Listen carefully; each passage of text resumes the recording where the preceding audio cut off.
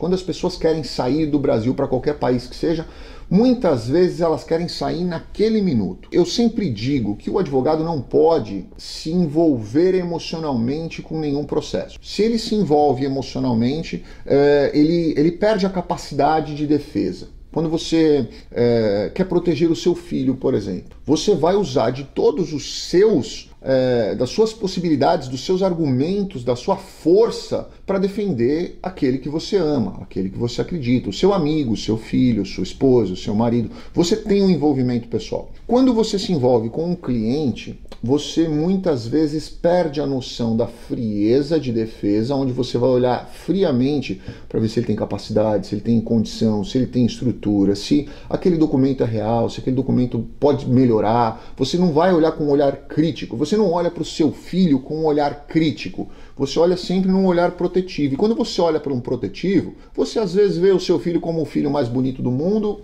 e às vezes ele não é nem o mais bonito da sala de aula. E você vai achar ele a coisa mais linda da, da galáxia, porque você está olhando para ele com aquele olho. Isso, dentro de uma profissão do direito, dentro de um advogado, dentro de um juiz, dentro de um promotor, é muito, muito, muito perigoso, porque ele vai enxergar coisa que as outras pessoas não vão enxergar. E quando ele não consegue enxergar friamente o seu problema, ele abre uma porta gigantesca para lá na frente as pessoas baterem que nem um martelo em cima daquelas falhas que aconteceram, que ele, por ser seu amigo, por estar envolvido emocionalmente no seu processo, não conseguiu enxergar ou aliviou, como é o caso do que a gente acontece com os nossos filhos. As pessoas, por instinto natural, enxergam aquilo, um fato, um documento, uma, uma, uma, uma situação qualquer, da forma que ela enxerga, com os olhos dela, com o sentimento dela. E cabe ao advogado colocar aquilo ali da forma mais fria possível.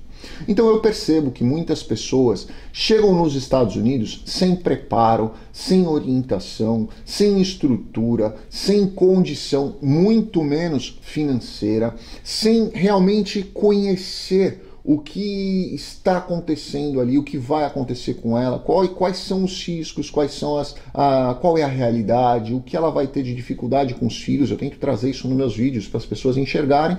Alguns ouvem, outros acham que eu estou sendo pessimista ou que eu estou é, tentando destruir os sonhos das pessoas, porque eu não digo exatamente o que elas querem ouvir, mas aquilo ali é uma realidade que às vezes as pessoas precisam se preocupar, que elas precisam se preparar. Se você estiver preparado para lidar com uma situação de caos, se a situação não for de caos, você está tranquilo, mas se você estiver preparado para um mar liso e pegar uma tempestade no meio do caminho de surpresa, com certeza absoluta você vai ser surpreendido e vai ter problemas, tá? Então eu falo muito isso para as pessoas com relação à sua conscientização ansiedade eu não posso absorver, o medo das pessoas eu não posso absorver, o, a, a, a, muitas vezes a impaciência das pessoas, poxa, mas eu quero isso agora, eu quero ir para os Estados Unidos amanhã, quando que o consulado vai marcar meu, minha, minha entrevista? Depende deles, não depende da gente, a gente faz da melhor forma possível o consulado está fechado, eu não posso absorver essa emoção. Então eu vejo as pessoas muitas vezes despreparadas porque elas querem sair do Brasil ontem e não porque elas querem preparar a melhor forma de saída com tempo, com estrutura, com o visto adequado, saindo do Brasil já com o visto adequado para não ter surpresa nos Estados Unidos, chegar nos Estados Unidos, ficar esperando a autorização de trabalho chegar para ela poder efetivamente trabalhar, já sair do Brasil com tudo pronto. E isso demanda preparo, prioridades, estrutura e tem. Deixa o seu comentário, o que, que você acha. Se você pensa sair do Brasil, será que você já tem essa consciência? Será que você já, já conversou sobre isso com a sua família? Você já você está disposto a pagar o preço, né? De, de se livrar de algumas coisas, abrir mão de algumas coisas.